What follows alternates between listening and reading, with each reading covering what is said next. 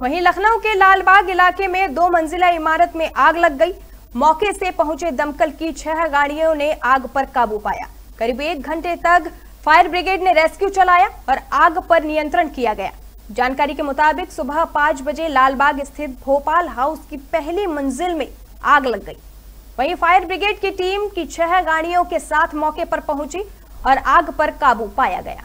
आग का कारण शॉर्ट सर्किट बताया जा रहा है।